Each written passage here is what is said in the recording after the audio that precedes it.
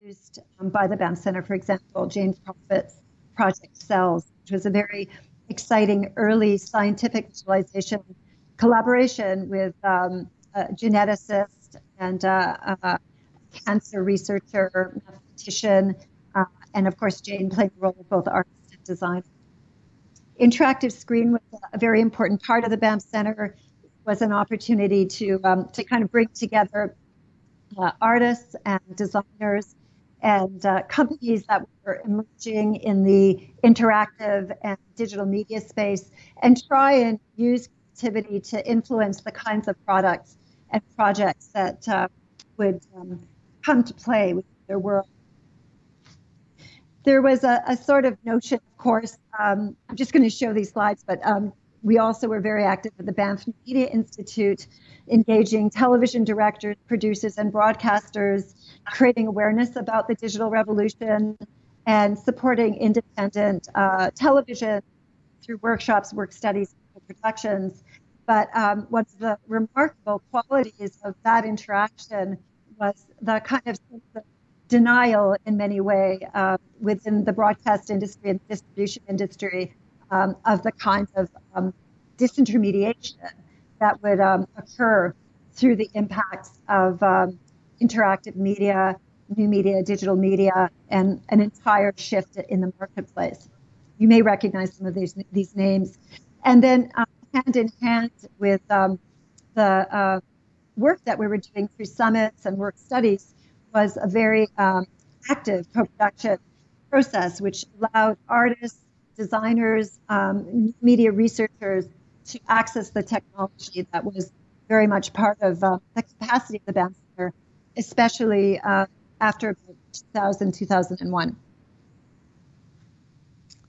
Just some slides for co-productions. Tapio Mäkelä and David Rokeby's remarkable um, uh, saunas, network saunas, where you could sit in a sauna um, in um, Helsinki and a sauna at the Banff Center and communicate um, with others in that sauna, seeing their bodies through a kind of blur uh, that um, uh, David kindly placed so you couldn't have explicit details, but hearing them perfectly and then diving into the pool uh, at the Banff Center and um, the sounds of people swimming would reverberate um, through the saunas in both Helsinki um, and Banff. So those are the kinds of co-productions that we were uh, we were undertaking at Banff. Um, very important component of the Banff Center, which I'll talk about in a moment, was its um, passionate commitment to Aboriginal arts and um, providing a platform for a lot of the very early work that was done by uh, Indigenous artists and uh, producers um, and technology researchers in the space of new media. So um, it's Pastu, Ayapish speaking the language of spiders, was a very um, important project that was um, begun by Ahas, Ahasu Isku, who um, began um, a project with indigenous people who had spent time on the streets, and it was a cyclical story that told about seven generations and how they would bring a future to Indigenous experience amazingly interactive uh, media work.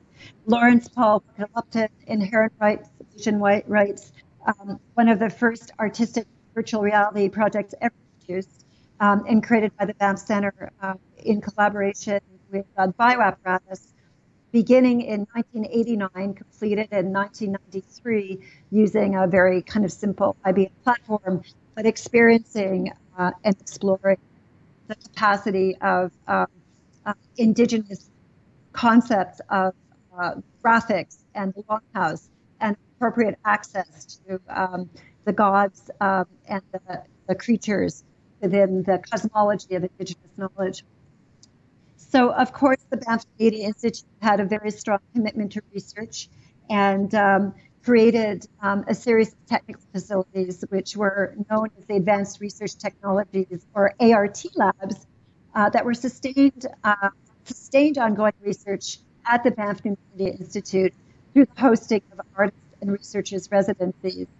So there was a cave with related visualization and virtual reality software, um, a collaboration laboratory with all manner of uh, networked capacity and the ability to work um, with researchers and artists in many different locations, uh, kind of experimental space to look at um, performances and other ways of thinking about collaboration. And then quite a sophisticated mobile engineering and physical computing lab that had a focus on wearable technologies. And I think part of what was so important about the kind of research that artists undertook was the ability to raise important ethical concerns and critique technology as well as use technology, to insist on a kind of diverse or relativist approach to the use and even the design of technology. And uh, to do this in the face of engineering, cognitive science, and artificial intelligence, which drive, still to this day, drive towards universality. So the kind of pragmatic role of artists in pursuing new applications that are inclusive has been, um, I think, a very significant importance. And the Banff Center, to its credit, uh, was a kind of leader in that space. So, did the lab succeed at Banff? Um, and I think this is one of those questions uh, that always has to be asked. I mean, Banff was an independent center, it wasn't a university. And it was very successful uh, when there were significant partners and projects. So, Interval Research uh, in California, Paul Allen's shop, uh, which provided uh, tremendous support for the Art and Virtual Environments project, funding for that project from Heritage Canada, uh, software from Softimage um, and Alias Wavefront that enabled that research to happen. When there were visiting researchers, so Dr. Maria Lantin, who uh, ran the, um, the art labs, uh, was particularly talented at bringing in researchers who could undertake projects for shorter periods of time to build a prototype and visualization in VR and audio um, with uh, a very focused and disciplined approach to using the lab. When there was funding to refresh the technology, where of course there was a dependency on research councils uh, or provincial funding authorities, and uh, when there was funding to support in-house research. So that was true for a number of us who were located at the Banff Center and able to bring in consistent research grants. But I think one of the challenges um, in building a lab environment at a place like Banff is that when the funding didn't exist and um, when there wasn't a way of consistently supporting research, which tended to need significant uh, both capital and um, operating support, then the labs would, would lie fallow, and they lie fallow to this day. So some lessons there. This is opening of the, the grand labs. This is the visualization cave.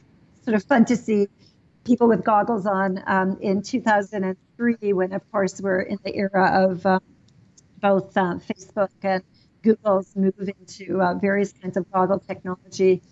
So, an unencumbered environment. And these are just some images from the Art and Virtual Environment program, which was a groundbreaking program in bringing artists and computer scientists together to create various kinds of experimental um, virtual reality worlds. And uh, a very important moment in Canada's history when Heritage Canada stepped in to create the New Media Research Networks, which uh, explicitly stood in for the failure of National Centers of Excellence program to support creative research. There were two attempts to um, build an NCE. Um, eventually, um, in uh, 2008, the Grand National Center of Excellence was funded, but uh, before that time, it was uh, a kind of desert of funding for significant research in art and technology or sci art. And then, of course, CANARIE, um, for a period of time, funded creative research if there was a technology component to it. So, just some examples of um, projects that were a result of having uh, two or three years of extensive support, significant support from federal uh, program, the Heritage Program, and uh, industry partners, including Nokia um, and uh, uh, Hewlett Packard Labs, uh, Mobile Digital Commons Network, uh, exploring the nature of uh, mobile experiences that were driven by, by sensors. Um, so outdoor experiences for the most part using uh, GPS, uh, GIS tracking and sensors. And remember, this is before smartphones, um, so feature phones. So a lot of fun um, exploring and a lot of um, really amazing capacity in terms of narrative and experience design a lot of work with body storming methods to imagine navigation um, using mobile phone experiences, and of course, working in the um, amazing environment of Banff. Um, this is a project in the cemetery in Montreal, um, and uh, a story that was driven through little pieces of narrative as you went through um, the Banff Park and would be able to play games at various locations. And the haunting, which was uh, in um, uh, by the cemetery on Montreal's mountain. Um, technologies that spinned off from that um, experimental period of time, such as the Me Engine, which was um, an open source uh, mobile experience design authoring system, and um, a number of ways of um, using intelligent systems and wearable technology, uh, including very early work with soft circuits, sensors, embedded media, media and uh, even experiments with very early nanotech within that project. Um, uh, Am I Able, which was the second funded project, which had a large group of people uh, working on it at Simon Fraser University, again Concordia, uh, and Banff and was really um, exploring ways that um, wearable technologies would be able to um, help with communication, new forms of communication, with um, sports experiences, even health and wellness experiences. I uh, remember at one point we were trying to um, develop a cessation smoking system using very fashionable watches prodded you every time you wanted a cigarette or went for a cigarette uh, with the University of Alberta and uh, beautiful work in um, performance and uh, the use of wearable technology. So um, research that still has sort of valence to this to this day as we look at um, the incredible growth of wearable technologies. Um, Banff was very involved with all kinds of international activities, both creating offsite events and collaborations, including um, a very significant workshop as part of the Dakar Biennale of Contemporary African Art that brought Indigenous new media artists and um, uh, curators and artists of African descent from Canada uh, and embedded them within the Dakar Biennale of Contemporary Art to make new work, lead workshops, and create prototypes.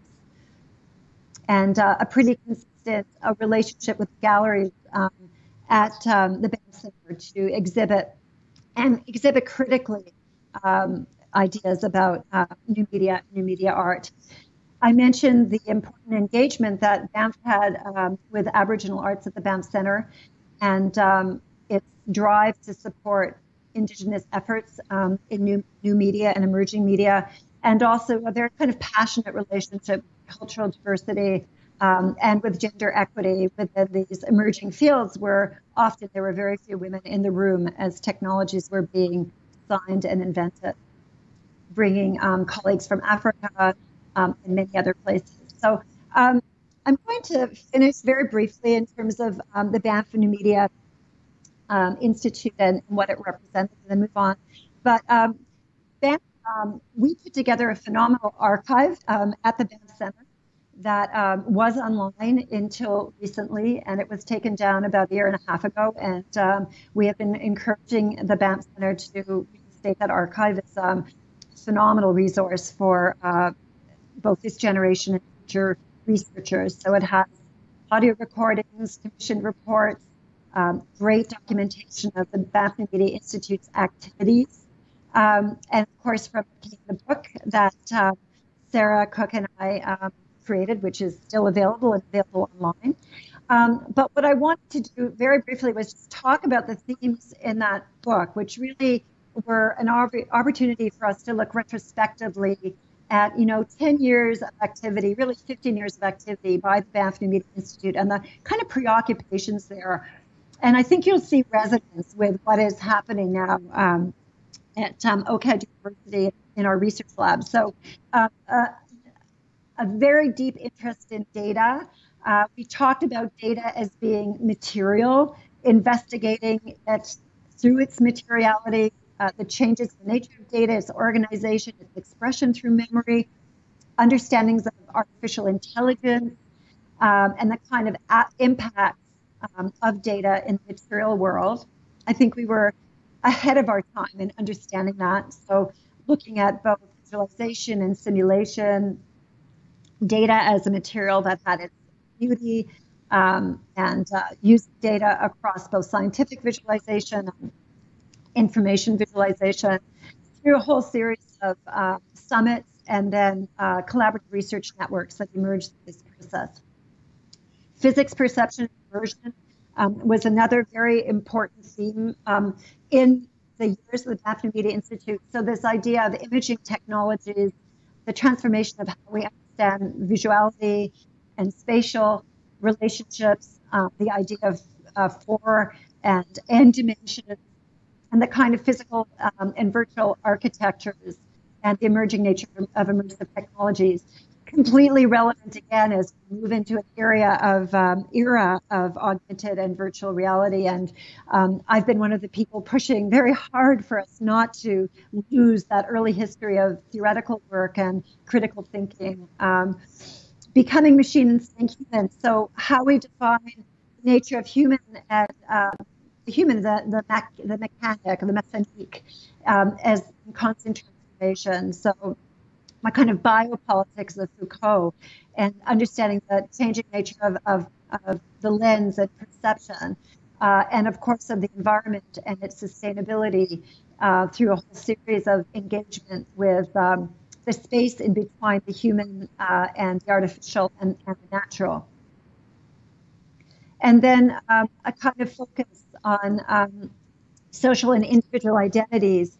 So a profound interest in shifts in the ways that social and individual identity um, have been expressed in new media. So the kind of alternate cultures in the World Wide Web through streamed audio and video, uh, gaming and producing new, new, structures of knowledge as well as play, and a tremendous interest in, in emerging social media and of, of ways that identities are being um, critiqued and constructed uh, within the internet as a space of culture, money and law, so ways of thinking about new models of money, economic viability, and law from licensing to appropriation to open source, um, and really playing an active activist role in trying to create a new media industry that was sophisticated and um, engaged in um, the kinds of work that artists could do.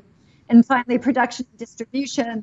So, understanding new systems of, um, of distribution, of collaboration, and the ways that these were phenomenally enabled um, through um, kind of distribution of knowledge in the online environment. So um, I will at the end just talk a little bit about where there's convergence between between these two worlds. And now I'm, I'm going to talk about uh, OCAD University and um, some of the ways that I suppose as an institution we're approaching um, the process of discovery. But as many of you probably know, we're a, a big school 4,700 students, um, about 300 graduate students, the majority undergraduate, um, and with a long history of art, design, media, culture, and social theory. Our largest programs are um, in graphic design, illustration, environmental design, industrial design, and drawing and painting. And this is relevant because I'm going to talk a bit about the way the labs are organized and uh, you know how they're sort of made meaningful um, through the work that happens um, in the academic program. So already, you know, a fundamental difference between a university and an independent research center is, uh, you know, a university has um, faculty who are there for extended periods of time. You can build uh, on research practice. You can um, collaborate within your institutions. There's a kind of um, fundamental difference in the sort of stability of um, that kind of environment. Is a residency environment and then of course there's students and um, they're um, a creative labor force who uh, want to engage with research in order to be able to you know move forward in, in their own knowledge knowledge formation so um, I thought I would share this. This is um, our vision as an institution, incredibly important for how we see research as we're moving forward. So, this idea idea about um, the imaginary and imagination being multiplicity, that diversity is fundamental to defining imagination, that lived experience is fundamental, and that imagination is also something, you know, that's artificial, that's constructed through various kinds of um, agents and intelligences.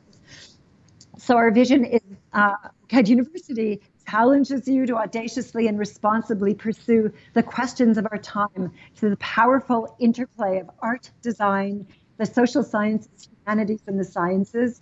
So this notion uh, that we're no longer an art and design school, uh, you know, we're an institution that engages with other these other forms of knowledge, but through uh, asking and answering challenging questions, through critique, through scientific, artistic discovery, and then this sort of set of calls to build aware, generous, and joyful communities, a kind of call for diversity, resilience, equity, inclusion, sustainability, respect for Indigenous sovereignty and cultures. So, a kind of ethics statement.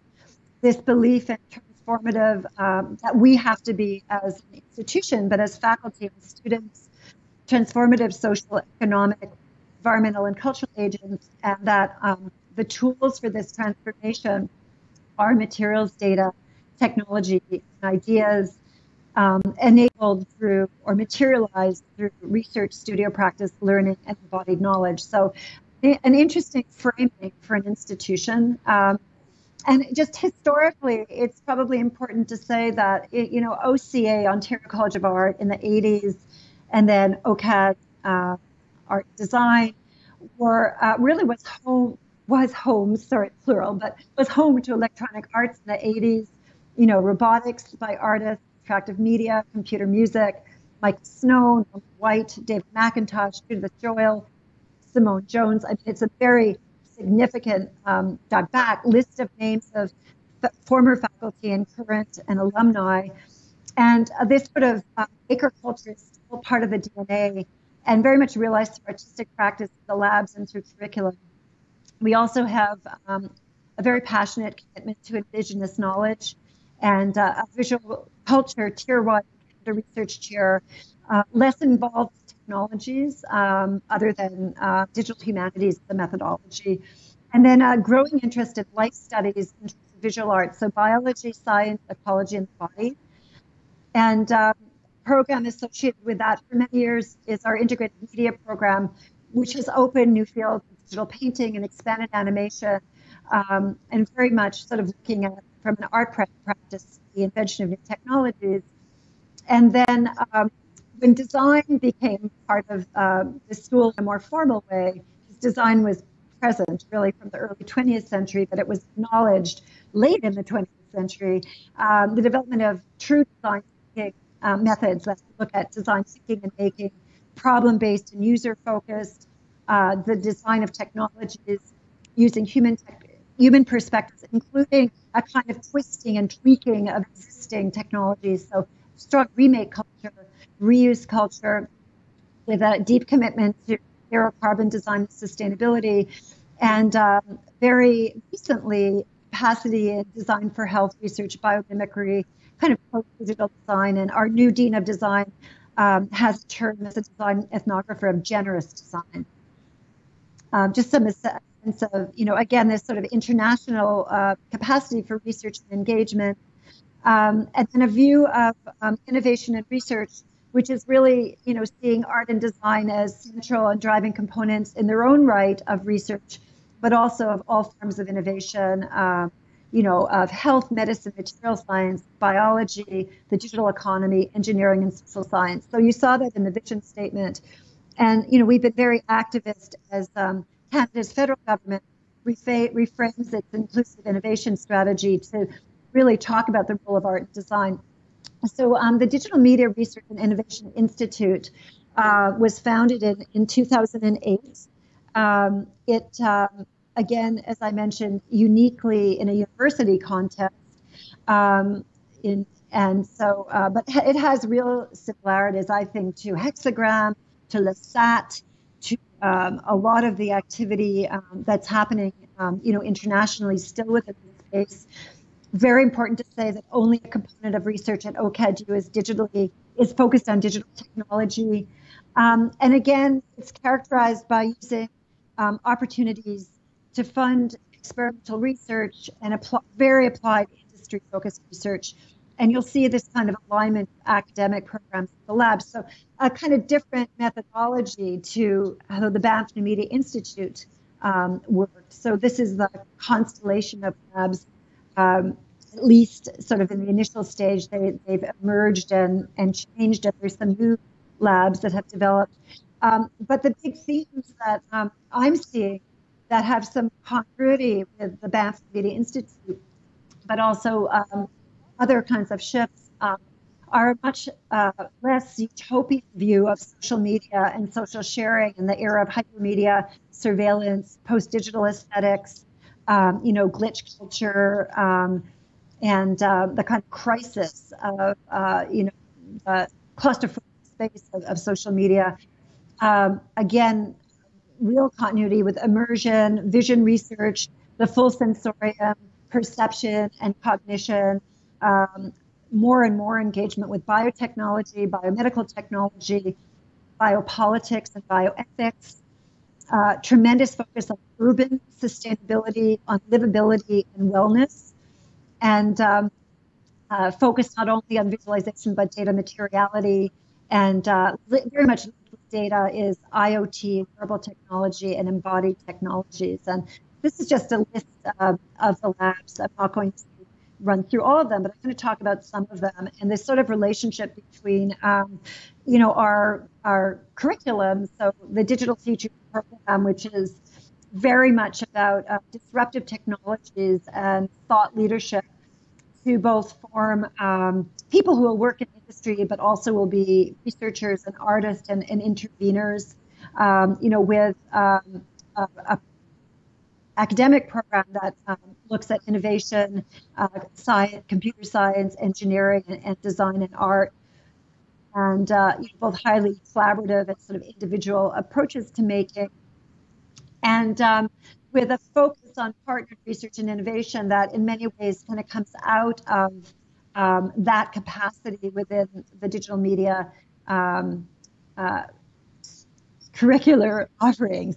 So these are, I, I just kind of threw up um, some of the uh, industry partners that we work with and, and sort of the funding sources. And I will talk about that at the end. But um, um, we um, also have a very strong focus on inclusive design. This is one of our, this is our largest, most capable research center that really looks at um, inclusion for people with disabilities, inclusion for people with um, constrained literacies, numeracy, um, much um, looking at uh, social and equity uh, issues in terms of social inclusion.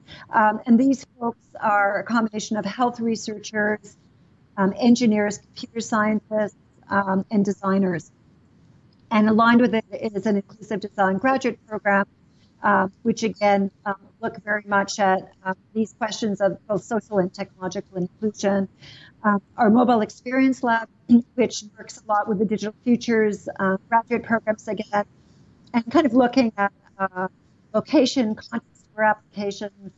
So real continuity here from the sort of work that was happening in engineering, um, mobile experiences, and some of the most interesting research is, um, you know, in the space of mindfulness technologies, so brainwave monitoring applied to areas such as fetal alcohol uh, visualization and working with kids who are survivors of um, uh, fecal, fetal alcohol syndrome.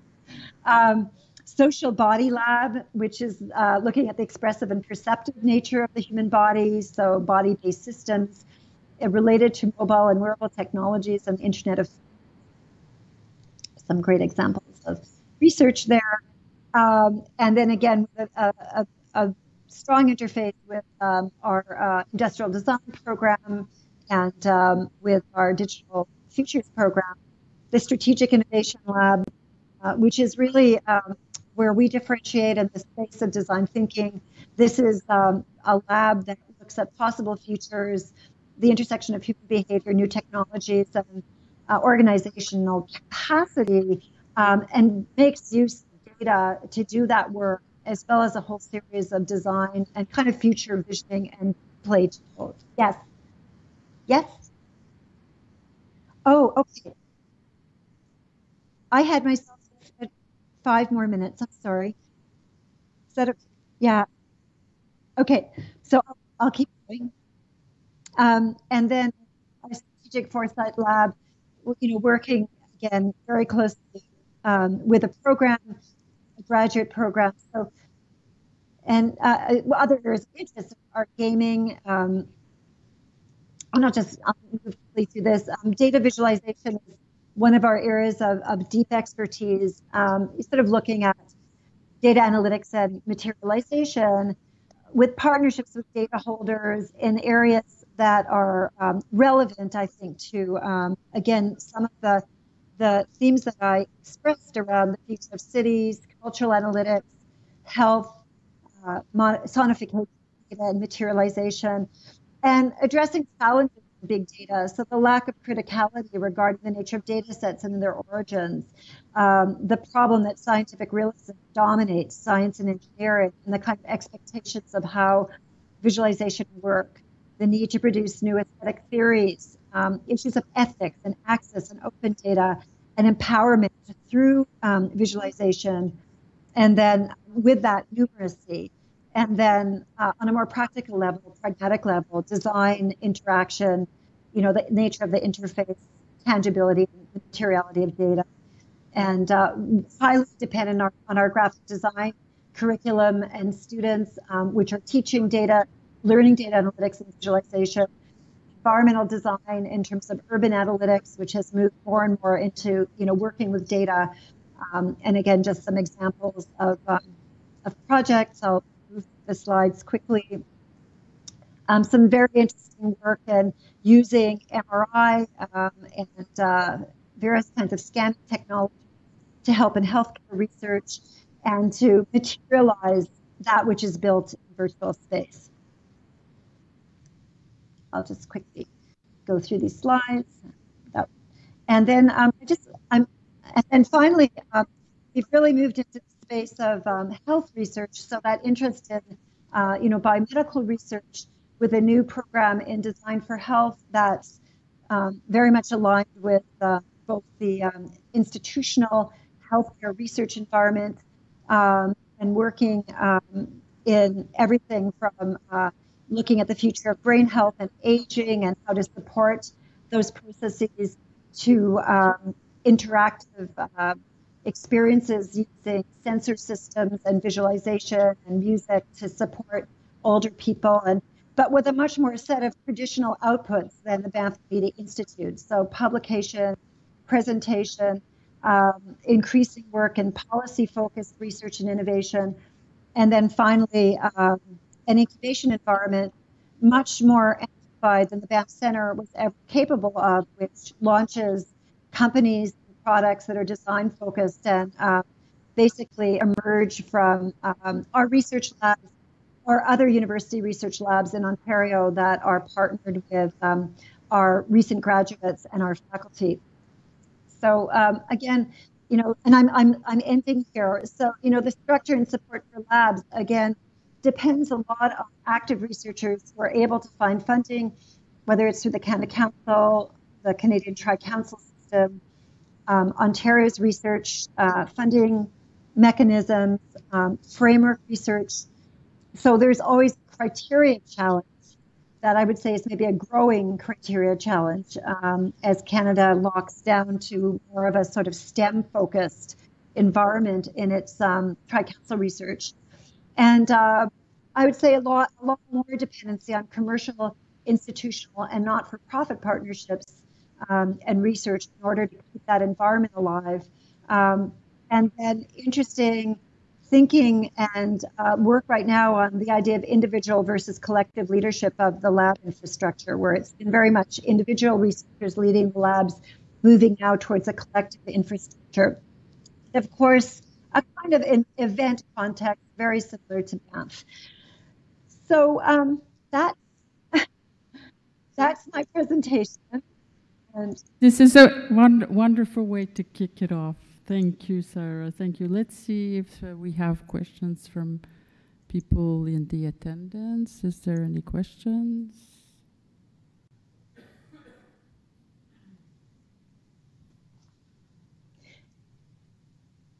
I, I, mean, I, I would just say that I think our role is very much, you know, historically and now uh, for those of us leading these kinds of environments is to really um, help to promote, you know, new methodologies, even when we're working in an industrial setting, to try and, um, you know, in collaborative research, um, to really try and ask questions that would not be asked if an artist designer was not at the table. Mm-hmm. Yes. Yes. So, just, just, just a second. Luc Courchesne has a question.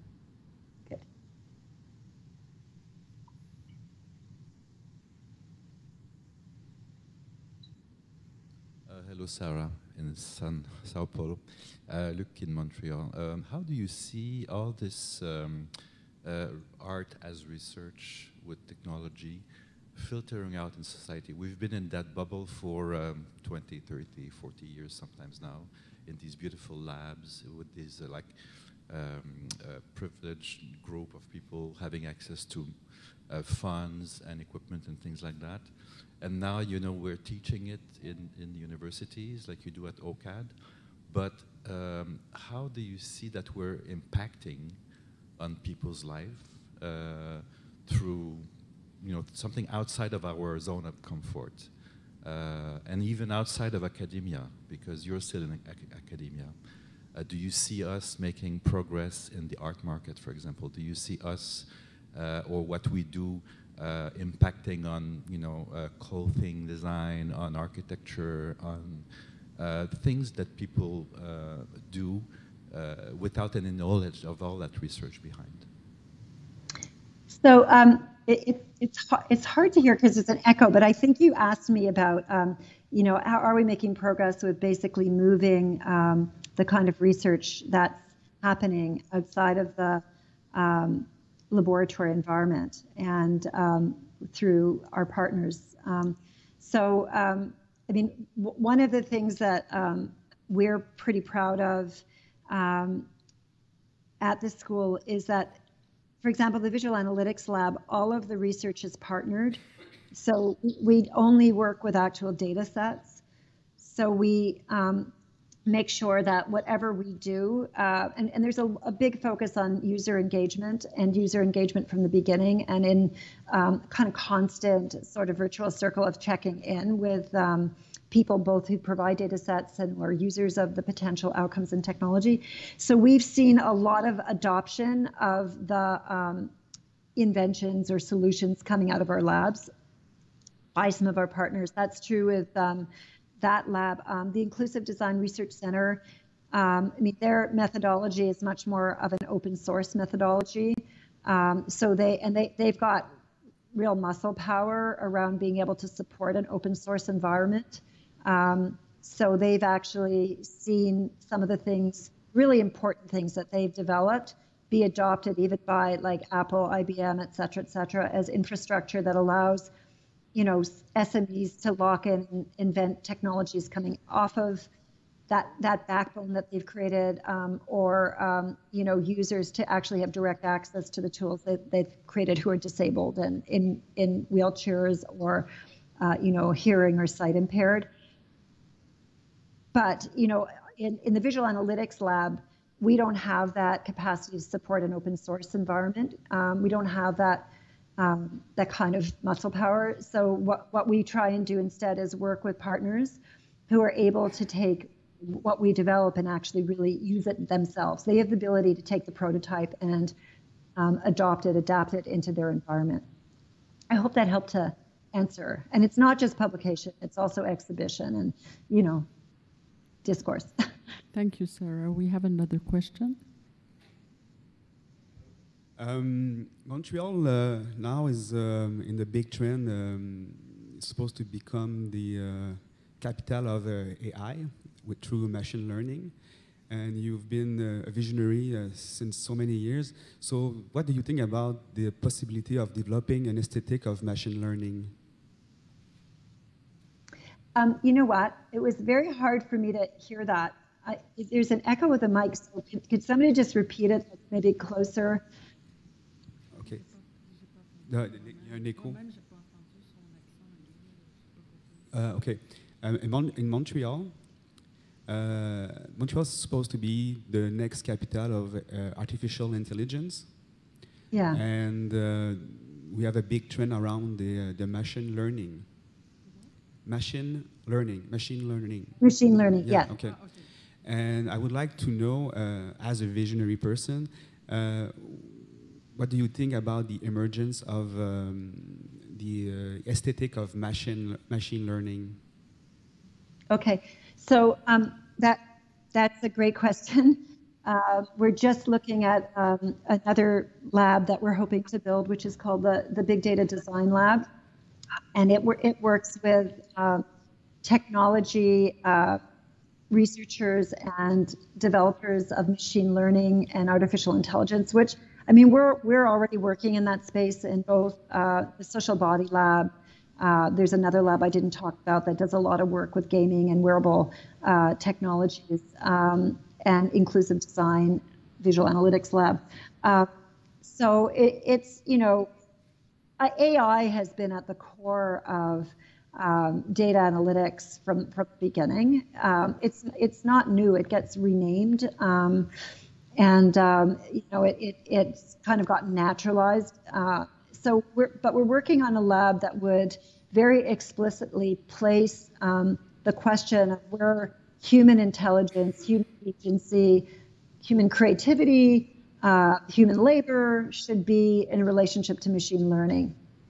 So, uh, you know, because we, we think we, uh, you know, researchers at OCADU see this as a really fundamental, both ethical and design challenge. So we've kind of pushed um, ourselves to the IBMs of the world, um, Esri, others, to say, put us at that interface. Let us ask those critical questions. Um, let's not make assumptions that everything should be, you know, automated. And let's look at places that, um, you know, shouldn't be, can't be, where needs to be checks and balances. Uh, and and I think the other piece that maybe I skipped over is, you know, we're constantly saying data is not neutral. Data is mediation. Data is produced. You need a kind of critical um, engagement with understanding the nature of data and each data set. So those two things together, I think, are very important, but I, I don't think we can step away from that that space. And I think it's really important to engage and also look at questions of privacy and um, you know the sort of invasive nature of uh, biomedical data, for example. I'm probably not even answering what you asked me. Sorry. So we have to leave you now, Sara. Okay. We, so I would like to thank you for your involvement in the new media art field on the Canadian base and inter international base. So.